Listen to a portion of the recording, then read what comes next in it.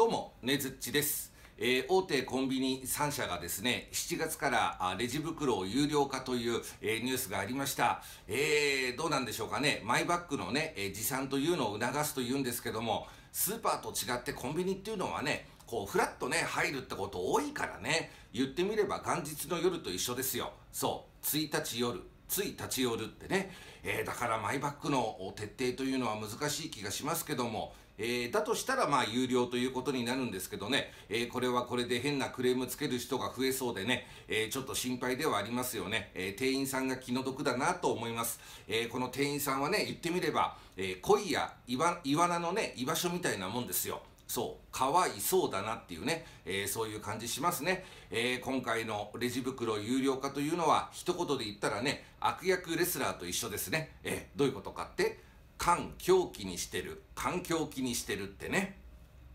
ねずっちです。では、また。